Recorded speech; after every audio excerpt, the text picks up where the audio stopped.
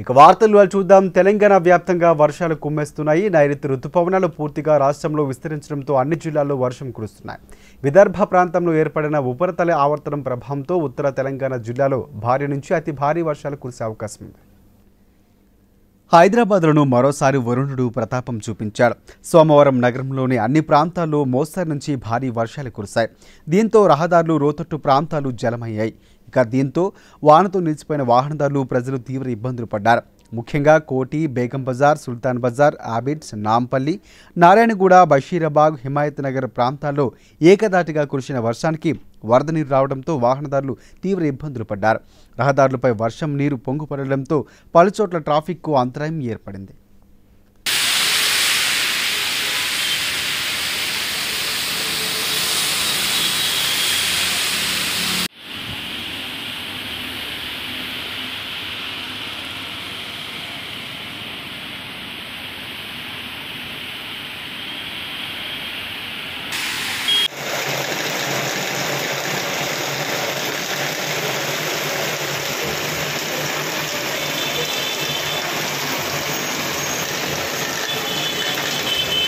శ్రీ బలకంపేట రేణుకేలమ్మ వారి కళ్యాణ ఉత్సవాలు అంగరంగ వైభవంగా జరగనున్నాయి. ఇక మూడు రోజుల పాటు జరిగే అమ్మవారి కళ్యాణ మహోత్సవాలు సోమవారం ఘనంగా ప్రారంభమయ్యాయి.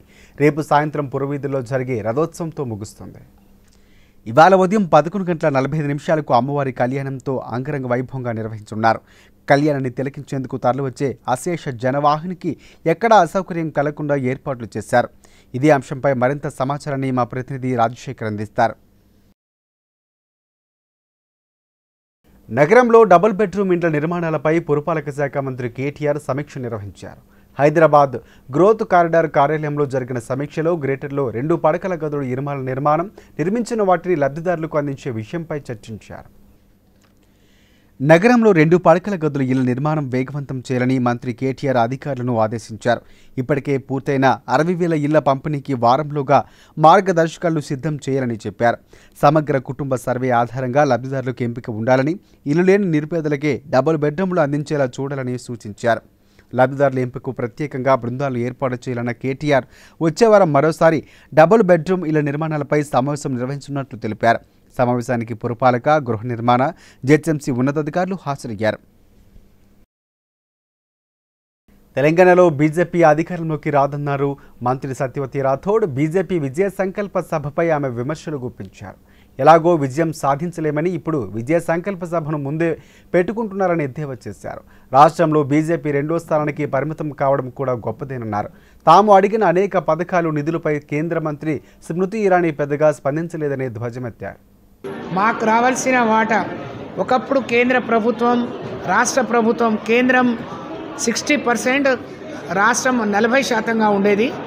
కానీ కేసీఆర్ గారు ప్రవేశపెట్టిన సంక్షేమ కార్యక్రమాలన్నీ కూడా కేంద్రం వైపు చూడకుండానే పెంచడం ద్వారా ఈరోజు ఎనభై శాతంగా రాష్ట్ర ప్రభుత్వ వాటాగా ఉంటే ఇరవై శాతమే కేంద్రంగా ఉంది. దాన్ని ప్రపోర్షనేట్గా పెంచమని చెప్పి అడగటం జరిగింది. అలాగే అంగన్వాడీ సర్వీసులు బాగా చేయడం ద్వారా ఈరోజు రాష్ట్రంలో భారతదేశంలోనే అం- మరి మాతా శిశు మరణాలు అగ్రగామిగా తగ్గించగలిగామని చెప్పి నేను చెప్పడం జరిగింది. అలాగే ఈరోజు మరి బాల్య వివాహాలు తగ్గించడానికి ఆరోగ్య మరి కళ్యాణ లక్ష్మి ఏ విధంగా ఉపయోగపడింది ఆరోగ్య లక్ష్మి బాలికల మహిళల ఆరోగ్యానికి ఏ విధంగా దోహదపడింది మహిళలు గౌరవంగా బతకడానికి మరి ఆసరా పెన్షన్ కావచ్చు ఒంటరి మహిళా పెన్షన్ కావచ్చు బీడీ కార్మికులకు ఇచ్చే పెన్షన్ ఏ విధంగా దోహదపడిందో? ప్రధాని మోదీ కేంద్ర మంత్రుల వ్యాఖ్యలపై ప్రణాళికా సంఘం ఉపాధ్యక్షుడు వినోద్ కుమార్ కౌంటర్ ఇచ్చారు. కేసీఆర్ ప్రశ్నలకు మోదీ దగ్గర సమాధానం లేదని అన్నారు. శ్రీలంక ప్రభుత్వంపై ప్రధాని ఒత్తిడి తెచ్చారా లేదా చెప్పలేదన్నారు.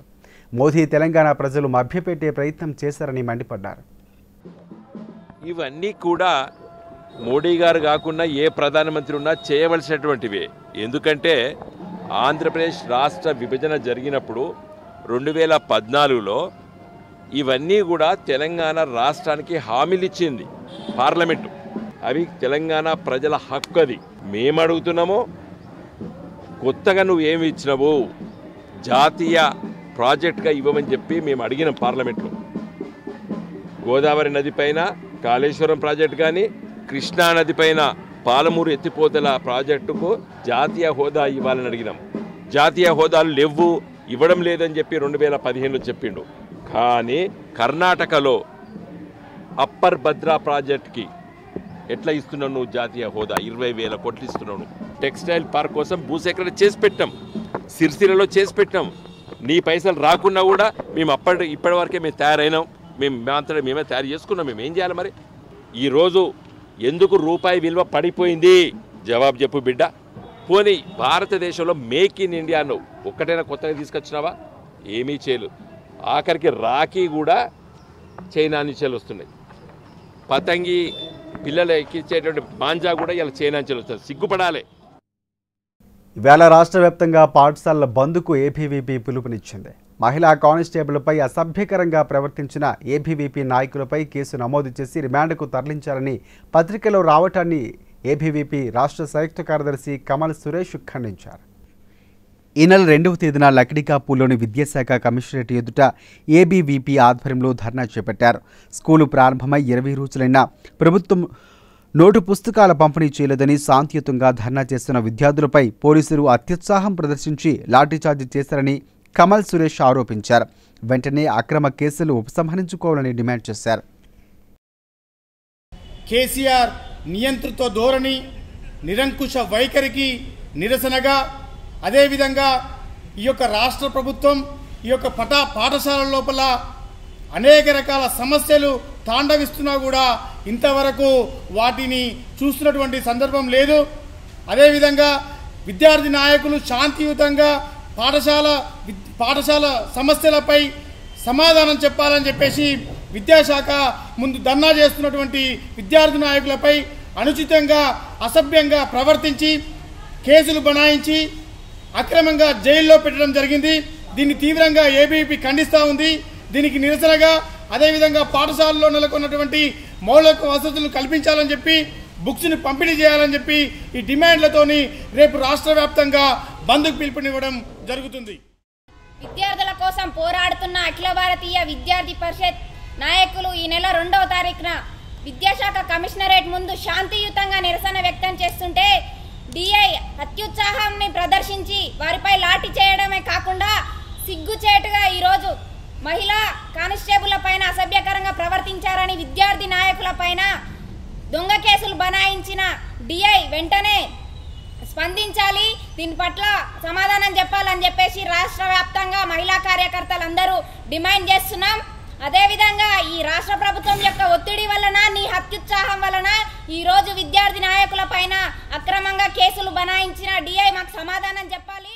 ఏదైతే గవర్నమెంట్ స్కూల్స్ ఉన్నాయో గవర్నమెంట్ స్కూల్స్లో ఇరవై రోజులు ఈరోజు స్కూల్స్ ప్రారంభమై ప్రారంభమై ఇరవై రోజులైన నేటికి స్కూల్స్లో మౌలిక వసతులు లేక విద్యార్థులకు రావాల్సినటువంటి పుస్తకాలు రాక యూనిఫామ్స్ రాక నానా ఇబ్బందులకు గురవుతున్న సందర్భంలో ఆ యొక్క సమస్యలను పరిష్కరించాలని మేము శాంతియుతంగా రెండో తారీఖు స్కూల్ ఎడ్యుకేషన్ ముంగట ధర్నా కార్యక్రమాన్ని శాంతియుతంగా చేపడుతుంటే అక్కడ అక్కడ విధులు నిర్వహిస్తున్నటువంటి డిఐ రాజునాయక్ గారు శాంతియుతంగా ధర్నా చేసినటువంటి ఏబీపీ కార్యకర్తలపైన మహిళా పోలీసులపై మహిళా కానిస్టేబుల్ పట్ల అసభ్యంగా ప్రవర్తించారని మా మీద నానా రకాలైనటువంటి కేసులు పెట్టి రిమాండ్కు పంపించడం జరిగింది.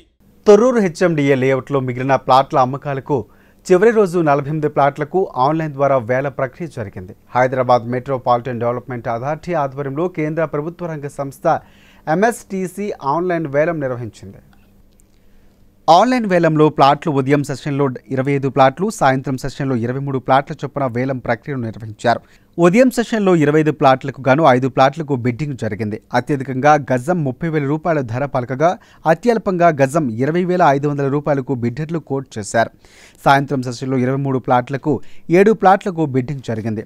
అత్యధికంగా ముప్పై వేల ధర పలకగా అత్యల్పంగా గజం ఇరవై వేల ఐదు వందల రూపాయలకు బిడ్డర్లు కోర్టు వేశారు. ఇక సోమవారం చివరి రోజున వేలం ద్వారా మొత్తం ఎనిమిది కోట్ల పది లక్షల విలువ చేసే పన్నెండు ప్లాట్ల అమ్మకాలు జరిగాయి. మేడ్చల్ జిల్లా ఘట్కేశ్వర విద్యుత్ శాఖ ఏఈ కార్యాలయంలో ఏసీబీ అధికారులు దాడులు నిర్వహించారు. విద్యుత్ కార్యాలయంలో ఇద్దరు అధికారులు ఏసీబీ దాడుల్లో చిక్కారు. ఇరవై రెండు వేల రూపాయల లంచం తీసుకుంటూ ఉండగా రెడ్ హ్యాండెడ్గా పట్టుకున్నారు. ఔషాపూర్ గ్రామంలో రెండు కరెంటు స్తంభాలు ఓ ట్రాన్స్ఫార్మర్ మార్చడానికి ఎలక్ట్రికల్ కాంట్రాక్టర్ నవీన్ వద్ద ఏఈ రాజనరసింహారావు పంతొమ్మిది వేల డిమాండ్ చేయగా సబ్ ఇంజనీర్ అశోక్ మూడు వేల రూపాయలు డిమాండ్ చేశారు. దీంతో బాధితుడు ఏసీబీ అధికారులను ఆశ్రయించగా ఏఈ కార్యాలయంలో లంచం తీసుకుంటుండగా సదరు అధికారులను వలపన్ని రెడ్ హ్యాండెడ్గా పట్టుకున్నారు. నవీన్ అని ఎలక్ట్రికల్ కాంట్రాక్టర్ ఈయన ఉంటారు. నేను ఔషాపూర్లో ఒక రెండు కాంట్రాక్ట్ తీసుకున్నాడు. ఒక రెండు పోల్స్ గురించి పోల్స్ వేయటం గురించి ఇంకొకటి ట్రాన్స్ఫారం వేయటం గురించి. ఆ రెండు కాంట్రాక్ట్ తీసుకున్నాడు. అవి ఏటానికి గాను ఏఈ పంతొమ్మిది వేలు రెండింటి కలిపి. సబ్ ఇంజనీరు ఏఈ రాజనరసింహరావు పంతొమ్మిది వేలు సబ్ ఇంజనీరు అశోక్ మూడు వేలు డిమాండ్ చేశారు. వాళ్ళు డిమాండ్ చేసినందుకు కూడా మేము వెరిఫికేషన్లో మేము చూసాము అది పక్కా డిమాండ్ కూడా ప్రూవ్ అయ్యింది ఈరోజు ఇప్పుడు గంట క్రితం కంప్లైంట్ నవీన్ దగ్గర నుంచి రాజా నరసింహరావు ఏఈ పంతొమ్మిది వేలు తీసుకుంటుండగా మళ్ళీ ఈయన సబ్ ఇంజనీరు అశోక్ మూడు వేలు తీసుకుంటుండగా మేము ఇద్దరిని కూడా రెడీ పట్టుకున్నాము. వాళ్ళని ఇప్పుడు మేము అదుపులో తీసుకున్నాము. మౌలాలి ఆర్టీసీ కాలనీలో రోడ్డు డ్రైనేజీ వ్యవస్థలు ఏ రాజకీయ పార్టీ నాయకులు పట్టించుకోవడం లేదంటూ ఆమరణ నిరాహార దీక్షకు దిగారు కాలనీ వాసులు. తమ సమస్యలు పరిష్కరించాలని ఎన్నిసార్లు మొరపెట్టుకున్నా అన్ని పార్టీ నాయకులు వచ్చి చూసి వెళ్ళడం తప్ప ఒరిగిందేమీ లేదని మండిపడుతున్నారు. సమస్యలు పరిష్కరించాలంటూ నిరాహార దీక్షకు దిగిన కాలనీ వాసులు శాంతింపజేసేందుకు వచ్చిన టీఆర్ఎస్ బీజేపీ నాయకులు ప్రజలు నిలదీశారు. మల్కాజ్గిరి పోలీసులు వారికి నచ్చజెప్పే ప్రయత్నం కూడా చేశారు. చివరికి టీఆర్ఎస్ నాయకులు మల్కాజ్గిరి ఎమ్మెల్యే మైనంపల్లితో మాట్లాడించారు. త్వరలో సమస్యను పరిష్కరిస్తారని ఎమ్మెల్యే హామీ ఇవ్వడంతో కాలనీ వాసులు దీక్షను విరమించారు. హంగర్ స్ట్రైక్ కూర్చున్నాం. కూర్చొని ఇప్పుడు అక్కడ ఎవ్వరు ఎమ్మెల్యే కానీ కార్పొరేటర్ కానీ ఎంపీ కానీ మాకు మా ఏరియాకి మూడు పార్టీలు వస్తాయి. ఒక బీజేపీ వస్తుంది కాంగ్రెస్ వస్తుంది ఇంకా తెలంగాణ. మూడు పార్టీలు వచ్చినా కూడా మా దగ్గర ఏం పని జరుగుతలేదు. సిసి రోడ్లు ఏం పని వస్తలేవు. ఇంకా మొత్తం వరద ఇట్లా వర్షం పడగానే మొత్తం ఇంట్లో నీళ్ళు వచ్చేస్తున్నాయి. ఎవరు వచ్చి పట్టుకుంటలేరు దాన్ని పట్టించుకుంటలేరు. ఏంటంటే మా ఏరియాకి ఒకటి నార్మల్గా వదిలేసారు ఏమైతే కానీ అని చిన్న మా ఇంటి దగ్గర ఒక చిన్నది స్వీపింగ్ కూడా జరుగుతలేదు మా ఏరియాకి. దానివల్ల మేము మొత్తం చూసి చూసి నిన్న స్ట్రైక్ చేసినాము. స్ట్రైక్ చేస్తే నేను కొంచెం లీడర్లు వచ్చి మాకు కొంచెం చెప్పారు పని చేస్తామని ఇప్పుడు వాళ్ళు ఏం చేస్తారో చూద్దామని మళ్ళీ మేము కూడా వాళ్ళకి ఒక ఛాన్స్ ఇచ్చినాం అంతే. ఇక్కడ ఫస్ట్ ఏమవుతుండే మొత్తం రోడ్ మీద కలిసి నీళ్ళు పోతుండే మనకు. ఇప్పుడు అక్కడ ఒక చిన్న పైప్ పెట్టారు ఒక త్రీ ఫీట్ పైప్ పెట్టారు. త్రీ ఫీట్ పైప్ పెట్టి మొత్తం ప్యాక్ చేశారు దానికి. ఆ నీళ్ళు రోడ్ మీద నుంచి పోకుండా పైప్లోకి నుంచి పోవాలని వదిలేశారు అట్లా అయితే ఇంకా మాకు చాలా ఇబ్బంది అయిపోతుంది దానివల్ల. ఎందుకంటే రోడ్ మీద నుంచి పోతేనే మొత్తం ఇట్లా నీళ్ళు వచ్చేస్తుంది. ఇప్పుడు పైప్లోకి నుంచి పోయిన తర్వాత అంతే అది కాదు నీళ్ళు అంతా పైప్లోకి నుంచి పోలేదు మొత్తం ఫస్ట్ అయితే మా కాళ్ళ దగ్గర వస్తుండే ఇప్పుడైతే మొత్తం నెక్ వర్క్ నీళ్ళు మొత్తం. వర్క్ చేస్తారన్నారు ఇక ట్యూస్డే అయితే ఎమ్మెల్యే గారు వచ్చి కలుస్తా అన్నారు. ఇప్పుడు చూద్దాం ఏం చేస్తారో. మా అయితే హోప్ ఏంటంటే వచ్చి పని చేస్తే మంచిగా ఉంటుందని మా ఓపిక అంతే. హైదరాబాద్ ఔటర్ రింగ్ రోడ్డుపై ఘోర రోడ్డు ప్రమాదం చోటు చేసుకుంది. ఈ ప్రమాదంలో ముగ్గురు వ్యక్తులు అక్కడికక్కడే దుర్మరణం చెందగా మరో ఇద్దరు తీవ్రంగా గాయపడ్డారు. శంషాబాద్ మండలం పెద్ద గోల్కొండ వద్ద ఈ ఘటన జరిగింది. పెదగోల్కొండ ఔటర్పై ఆగి ఉన్న లారీని వేగంగా కారు ఢీకొట్టింది. దీంతో కారు నుజ్జు నుజ్జైంది అందులో ప్రయాణిస్తున్న ముగ్గురు యువకులు కారులోనే ఇరుక్కొని మృతి చెందారు.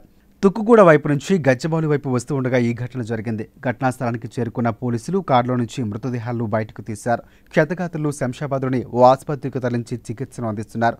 మృతదేహాలు శవ పరీక్ష కోసం ఉస్మానియాకు తరలించారు. ఇక మృతులు మహారాష్ట్ర వాసులుగా గుర్తించారు. తిరుపతి వెళ్ళి తిరిగి మహారాష్ట్రకు వెళ్తూ ఉండగా ఈ ప్రమాదం చోటు చేసుకుంది.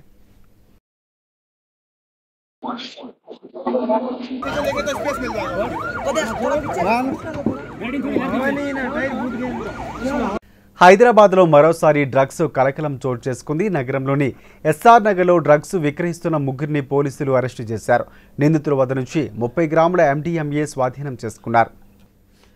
నార్కోటిక్ ఎన్ఫోర్స్మెంట్ వింగ్ అధికారులు ఎస్ఆర్ నగర్ పోలీసులు కలిసి అంతరాష్ట్ర డ్రగ్స్ ముఠాను అదుపులోకి తీసుకున్నారు. ఈ ముఠాకు చెందిన ప్రధాన నిందితుడు ఢిల్లీ నుంచి డ్రగ్స్ను తీసుకువచ్చి ఫెడరల్కు ఇస్తున్నట్లు డీసీపీ జోయల్ డేవిస్ చెప్పారు. ఈ కేసులో పూణేకు చెందిన ప్రధాన నిందితులు అరెస్టు చేశామన్నారు. ఇక నిందితులపై పూణేలో పలు కేసులు ఉన్నట్లు వివరించారు.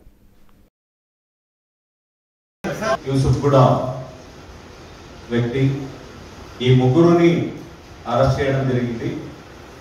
వీరి దగ్గర నుంచి ముప్పై గ్రాములు ఎండిఎంఏ డ్రగ్ తీసేయడం జరిగింది. తిరుమల శ్రీ వెంకటేశ్వర స్వామి వారి హుండీ ఆదాయం కొత్త రికార్డులను సృష్టించింది. శ్రీవారి దర్శనానికి భక్తులు పోటెత్తడంతో పాటు హుండీలో కానుకల వర్షం కురుస్తోంది. ఆదివారం ఒక్కరోజే ఏకంగా శ్రీవారి హుండీ ఆదాయం ఆరు కోట్ల పద్దెనిమిది లక్షల రూపాయలు వచ్చినట్లు టీటీడీ వెల్లడించింది. మొట్టమొదటిసారి ఆరు కోట్ల మార్కును దాటింది స్వామివారి హుండీ ఆదాయం. ఇప్పటి వరకు రెండు వేల పన్నెండు ఏప్రిల్ ఒకటిన లభించిన ఐదు కోట్ల ఆదాయమే అత్యధికం. ఆ తర్వాత అంతకు మించిన ఆదాయం ఇప్పటిదాకా లభించలేదు. తాజాగా తిరుమల చరిత్రలోనే వెంకన్న హుండీ ఆదాయం ఆరు కోట్ల మార్కుకు దాటేసింది. సాజిద్ అలీ ఖాన్ ఆధ్వర్యంలో బాలీవుడ్ మెలోడియస్ను రాజేష్ కుమార్ పేరుతో రవీంద్ర భారతిలో ఆలపించిన పాటలు ఇప్పుడు ప్రేక్షకులను ఆకట్టుకున్నాయి. సునీల్ శెట్టి తాహర్ ఖాన్ వంటి ప్రముఖ గాయకులు వివిధ సినీ గీతాలను ఆలపించారు.